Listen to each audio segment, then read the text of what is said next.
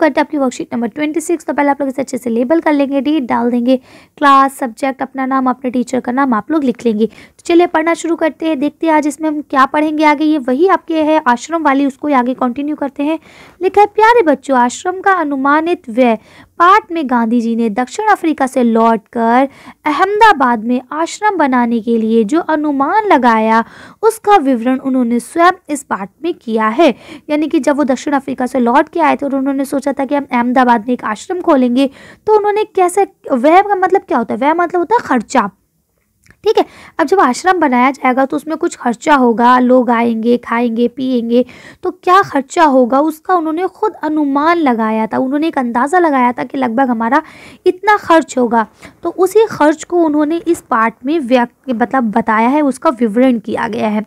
आश्रम के लिए आवश्यक जो मतलब इंपॉर्टेंट है, छोटी से छोटी चीज़ का उन्होंने ध्यान रखा है। आइए पाठ से लिए इस गद्यांश को पढ़कर प्रश्न के उत्तर देकर जाने की हमने क्या सीखा।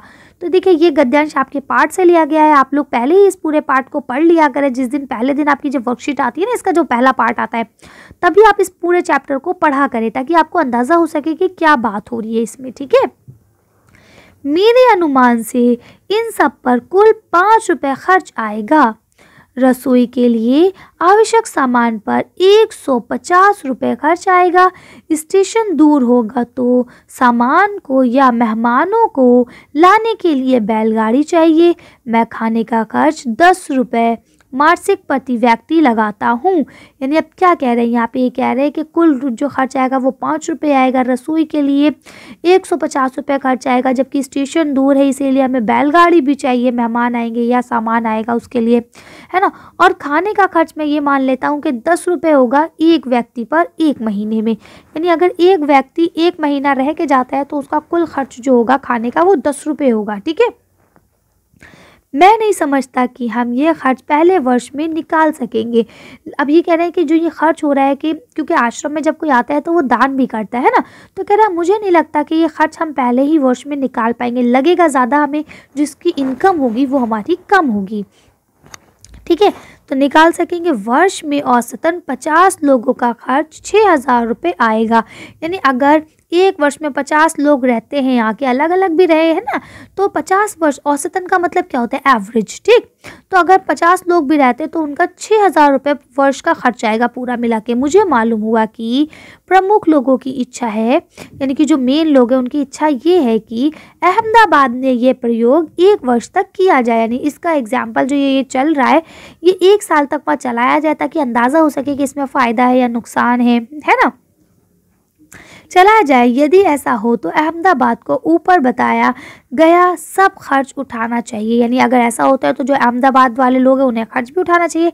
मेरी मांग तो ये भी है कि अहमदाबाद मुझे पूरी ज़मीन और मकान सभी दे दे तो बाकी खर्च मैं कहीं और से या दूसरी तरह से जुटा लूँगा। यानी इनकी मांग ये थी कि या तो अहमदाबाद वाले खर्चा उठाए, और अगर नहीं उठाते तो ज़मीन और मकान मुझे दे दें। ऊपरी खर्चा मैं अपने हिसाब से कर लूँगा। अब चूँकि विचार बदल गया है, इसलिए ऐसा लगता है कि एक वर्ष का या इससे कुछ कम दिनों का खर्च अहमदाबाद को उठाना चाहिए। यदि अहमदाबाद एक वर्ष के खर्च का बोझ उठाने के लिए तैयार ना हो तो ऊपर बताए गए खाने के खर्च का इंतज़ाम मैं कर सकता हूँ। चूँकि मैंने खर्च का ये अनुमान जल्दी में तैयार किया है, इसलिए ये संभव है कि कुछ मदे छू, मुझसे छूट गई हूँ। यानी क्योंकि ये मैंने जल्दी जल्दी में तैयार करा है, जल्दी में हिसाब लगाया है तो हो सकता है कुछ चीज़ें, मदे मतलब क्या होता है? कुछ चीज़ें। कुछ ऐसे पॉइंट्स जो मुझसे हो सकता है छूट गए हो। तो क्या कहते हैं, इसके अतिरिक्त खाने के खर्च के सिवा मुझे स्थानीय स्थितियों की जानकारी नहीं है, यानी कि और जो चीज़ें ऊपरी होती है, खाने के अलावा मुझको और किसी चीज़ की जानकारी भी नहीं है कि इसके अलावा और कोई चीज़ लग भी सकती है यानी इसीलिए मेरे अनुमान से भूलें भी हो सकती है, यानी कि अगर मैं अपनी अनुमान की बात करूँ तो हो सकता है मेरे अनुमान से कुछ भूल हो गई हो। तो मेन वजह क्या है भूल होने की? मेन वजह यह है कि एक तो वो जल्दी में अनुमान लगा रहे हैं। जल्दी में सारा हिसाब किताब उन्होंने तैयार करा और दूसरी चीज़ ये कि उन्हें खाने के अलावा और चीज़ों के बारे में जानकारी भी नहीं है, इसलिए हो सकता है उनसे छूट हो गई हो। ठीक तो इस तरह से हमने ये पढ़ लिया। चलिए हम लोग क्वेश्चन को पढ़ते हैं। आपका पहला क्वेश्चन दिया गया है, यहाँ मैं का प्रयोग किसके लिए हुआ है? यानी इस पूरे पैराग्राफ में जो मैं शब्द आया है, वो कौन है? कौन अपने लिए मैं का इस्तेमाल कर रहे हैं? चलिए आंसर देखते हैं। अब इसका आंसर यहाँ से लिखेंगे, यहाँ मैं का प्रयोग महात्मा गांधी जी के लिए किया गया है। ठीक है, यानी जो यहाँ पे मैं बोल रहे हैं, वो कौन है? गांधी जी हैं। चलिए आगे पढ़ते अब यहाँ आपका अगला क्वेश्चन दिया गया है, स्टेशन दूर होगा तो सामान या मेहमानों को लाने के लिए क्या चाहिए? तो क्या चीज़ चाहिए? चलिए इसका आंसर देखते हैं। आप इसका आंसर यहाँ से लिखेंगे, कि स्टेशन दूर होगा तो सामान या मेहमानों को लाने के लिए बैलगाड़ी चाहिए। ठीक है तो आप लिख सकते हैं आसानी से। चलिए अगला क्वेश्चन पढ़ते अब आपका नेक्स्ट क्वेश्चन दिया गया है, लोगों की इच्छा के अनुसार अहमदाबाद में ये प्रयोग कितने वर्ष तक किया जाए? तो कितने वर्ष तक की उन्होंने कहा था करने को? एक वर्ष के लिए है ना? चलिए इसका आंसर देखते हैं। तो आप इसका आंसर यहाँ से लिखेंगे, लोगों की इच्छा के अनुसार अहमदाबाद में ये प्रयोग एक वर्ष तक किया जाए। कितने वर्ष तक? एक वर्ष तक। ठीक है, चलिए अगला क्वेश्चन पढ़ते हैं। अब आपका अगला क्वेश्चन दिया गया, मेरे अनुमान में भूल भी हो सकती है। लेखक ने ऐसा क्यों कहा? तो चलिए इसका आंसर देखते हैं। तो देखिए, आप इसका आंसर यहाँ से लिखेंगे कि मेरे अनुमान में भूल भी हो सकती है।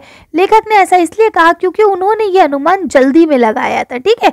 और इसके अलावा उन्हें खाने पीने का भी ध्यान नहीं था कि इसके अलावा और क्या चीज़ें हो सकती हैं। तो इसलिए उनके अनुमान में भूल भी हो सकती है। तो आप वैसे इतने ही आंसर लिखेंगे, अगर वो सब लिखेंगे तो काफ़ी बड़ा हो जाएगा आंसर तो बस आप इतना ही लिख लेंगे, ठीक है? चलिए अगला क्वेश्चन पढ़ते हैं। अब यहाँ आपका लास्ट क्वेश्चन दिया गया, ये आपकी एक एक्टिविटी है, गतिविधि है।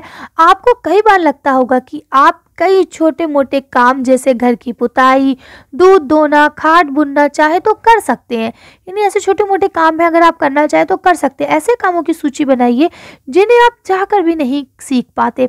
एग्ज़ाम्पल के तौर पे, जैसे कि किसी सरसों का तेल निकालना या फिर और भी बहुत मुश्किल मुश्किल काम है जैसे घर बनाना जैसे फ्रिज ठीक करना जैसे कोई प्रेस वगैरह ख़राब हो जाए उसको सही करना तो ये चाह कर भी हम नहीं कर सकते। क्यों? क्योंकि ये वाली बात हो जाती है ना तेली का काम तमोली नहीं कर सकता।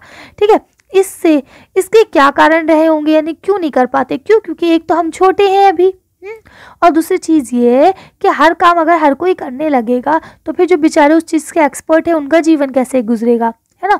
उसके अलावा अगला क्वेश्चन लिखा है उसी में उन कामों की सूची बनाइए जिन्हें आप सीखना चाहते हैं या कभी ज़िंदगी में आगे करना चाहते हैं।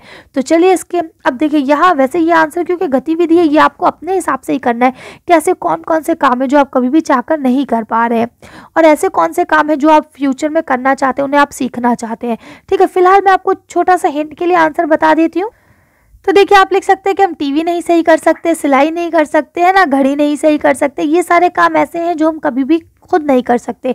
बड़े होके सीख जाए, वो अलग बात है, ठीक है? और जो बड़े होके सीखना चाहते हैं, वो ये कि खाना पकाना और दूसरा रोटी बनाना, क्यों? क्योंकि रोटी बनाना तो मुझे आज भी गोल नहीं आता है, ठीक? तो इस तरह से ये है कि आप लोग इसे कर सकते हैं आसानी से। जो जो चीज़ें आपको पसंद है, जो आप फ्यूचर में करना चाहते हैं, जैसे सिलाई सीखना चाहते हैं या जो बच्चे, लड़के हैं इसमें जो देख रहे हैं वीडियो तो वो क्या सोचते होंगे कि हम भी बैट बॉल खेलें, धोनी की तरह खूब अच्छे से, है ना?